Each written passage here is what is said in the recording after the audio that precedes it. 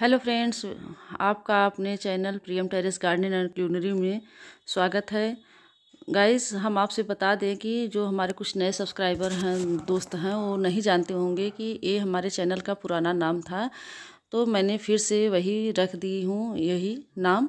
क्योंकि blogging with son and mom जो था, ये सर्च करने पे हमारे चैनल हमारा शो नहीं कर रहा था क्योंकि इस नाम से कई लोगों का चैनल बन गया था तो इसलिए हमारा चैनल तो अभी इतना पॉपुलर तो है नहीं कि शो करेगा। तो इसलिए मैंने सोची कि फिर से इसको, अपना पुराना नाम इसको दे दूँ हमारे चैनल को। तो आज का टॉपिक दोस्तों है कि हम अपने प्लांट्स को किस तरीके से रखे हैं और जो हमारा नीचे वाला फ्लोर बन रहा है, वो अभी कितना बन रहा है हमारी यही कोशिश रहेगी कि अपने प्लांट्स के साथ साथ हम अपने नीचे वाले फ्लोर को भी दिखा दें आप लोगों को। तो जानने के लिए वीडियो को अंत तक ज़रूर देखिएगा। तो गाइस क्या है कि मैंने जैसा कि आप लोगों से पिछले वीडियो में शेयर की थी कि मैंने अपने सारे प्लांट्स को ऊपर छत पे लाए हैं और कुछ प्लांट्स अभी जो छोटे छोटे हैं और कुछ बहुत बड़े हैं तो वो सब नीचे ही रखे हुए हैं।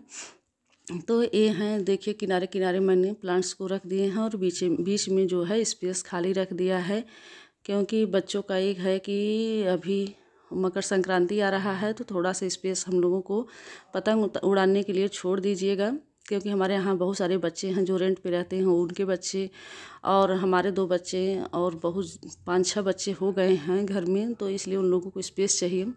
तो इसलिए मैंने अपने सारे प्लांट्स को इधर किनारे पर रख दिया है। तो चलिए शुरू करते हैं विंटर प्लांट्स से मैंने विंटर प्लांट को एक साइड में रखा है। फ़र्स्ट नंबर पे है हमारा ये लिलियम का प्लांट दोस्तों। और ये देखिए, अभी मैंने दो दिन पहले ही अपने एक फर्टिलाइज़र वीडियो को शेयर किया था और उसका देखिए कि उसका काम कितना वो अच्छा किया है फर्टिलाइज़र।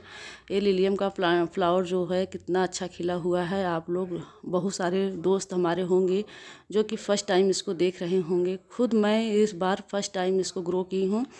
तो ये हमें बहुत ही खूबसूरत फ्लावर मुझे लगा है। और इधर देखिए, कैलेंडुला का भी प्लांट्स जो अच्छे से ग्रोथ हो रहे हैं, इसमें नए नए वर्ड्स बन रहे हैं।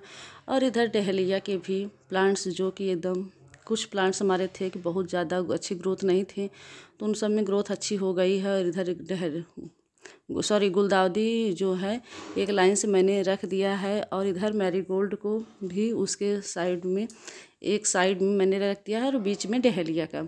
डहलिया को एक प्लांट मैं रखी हूँ और इधर फिर क्या है मैरीगोल्ड को मैंने रख दिया है और कोने में पूर्वी और उत्तरी कोने में मैंने पारिजात के प्लांट को रख दिया है। और इधर देखिए एक नींबू का प्लांट्स था, जो कि फर्टिलाइज़र मेरा काम कर रहा है। और यहाँ देखिए इसके फ्रूट्स भी बढ़ गए हैं। तो इधर देखिए रोज़ का प्लांट्स मैं रखी हूँ और इधर कुछ समर प्लांट्स हमारे जो की डोरमेंसी में एकदम चले गए हैं। इधर देखिए ये गुल चांदनी का प्लांट है, बिल्कुल डोरमेंसी में चला गया है। फ्लावरिंग देना एकदम बंद कर दिया है। और इधर अलमेंडा का जो तीन प्लांट हैं, ये सब भी डोरमेंसी में चले गए हैं दोस्तों। और इधर हमारा जो जरबेरा का प्लांट है, इसकी भी अच्छी ग्रोथ हुई है और कई से बर्ड्स भी नीचे से निकले हुए हैं और मिनिएचर रोज और कुंद का प्लांट जो है, कुंद का प्लांट जो है फ्लावरिंग दे के अभी बंद हुआ है और इसमें नए नए बर्ड्स आ रहे हैं। और इधर देखिए, ये सब समर के प्लांट्स हैं जो कि एकदम डोरमेंसी में चले गए हैं।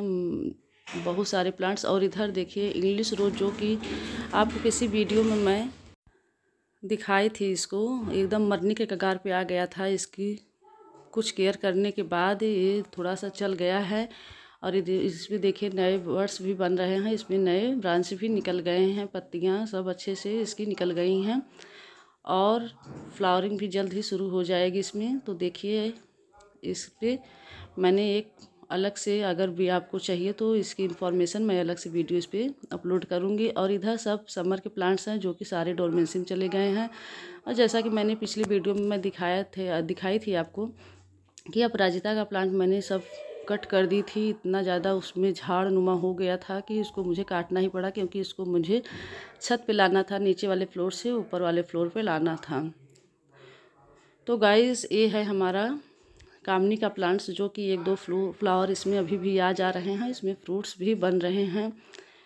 तो इधर सब हिबिस्कस के प्लांट्स लगे हैं, कुछ तो फ्लावरिंग दे रहे हैं एक दो करके और कुछ एकदम डॉर्मेंसी चले गए हैं। ज़्यादातर तो एक दो फ्लावर हर प्लांट में आ रहे हैं, दो तीन प्लांट जो हैं हमारे। कुछ नहीं आ रहे हैं उसमें से। और इधर देखिए, एक जोरा तो एकदम सूखने के कगार पे आ गया है। मिर्ची गुड़हल हम इसको कहते हैं। ये भी अभी तक फ्लावरिंग दो चार फ्लावर इसमें आ ही जा रहे हैं। और इधर सब देखिए, सब समर के प्लांट हैं, जो कि सब डोरमेंसी में चले गए हैं गाइस। तो यहाँ मैं देखिए, मधुमालती को मैंने एक दो, एक डेढ़ दो महीने पहले मैंने इसको बिना टाइम के रिपोर्ट कर दी थी, जिसकी वजह से सारी इसकी ब्रांचेस सूख गई थी। तो अभी इसमें नए नए पत्तियाँ फिर से आना शुरू हो गई हैं। और इधर क्या बोलते हैं, विनका के कुछ प्लांट्स रखे हैं और इधर ये गजेनिया के प्लांट मैं लगाई हूँ और उसी के नीचे ये बोगन बिलिया की मैंने हार्ड फ्रूनिंग कर दी हूँ। और इधर चंपा भी डोरमेंसी में चला गया है। तो गाइस इधर है सब छोटे छोटे पॉट में जो पोर्सुलिन पोर्चुलका लगे थे और क्या बोलते हैं, कुछ कटिंग और कुछ पौधे इधर विनका के और कुछ पौधे इधर एलोवेरा के सब लगे हुए हैं छोटे छोटे पॉट में और बड़े पॉट में तो इसको मैंने अभी इस कार्नर में रख दी हूँ। इधर देखिए पेंजी मेरा एक ही बचा है जो कि इसकी भी ग्रोथ अच्छी हो रही है, फ्लावरिंग भी देना शुरू कर दिया है और अब चलिए नीचे हम, नीचे वाला फ्लोर दिखाते हैं आपको कि किस तरीके से हमारा बना है। इधर देखिए हम आ गए हैं और ये है दोस्तों हमारा किचन। किचन में देखिए अलमारियाँ सब बन गई हैं। ये ऊपर तीन अलमारियाँ बन गई हैं और इसके नीचे प्लेटफॉर्म जहाँ पे इधर गैस रखा जाएगा और इधर देखिए बगल में थोड़ा सा स्पेस छोड़ दिया गया है फ्रिज, व्रिज रखने के लिए। और इधर सामने खिड़की और कितना अच्छा लगेगा जब यहाँ कोई खाना बनाएगा और सामने से पौधा देगा, पौधों को भी देखते रहेगा और इधर बेसिन लगेगा। और यहाँ देखिए कितना सुंदर लग रहा है।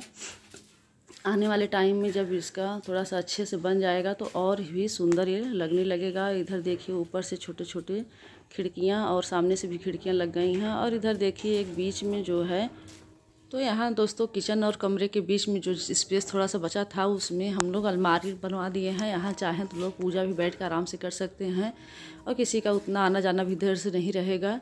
और ये एक कमरा है, ये भी लगभग बन चुका है। अभी प्लास्टर सब बाकी है। और इधर देखिए, अलमारी बन गया है। अलमारी के ऊपर एक टार जिसको हम लोग बोलते हैं।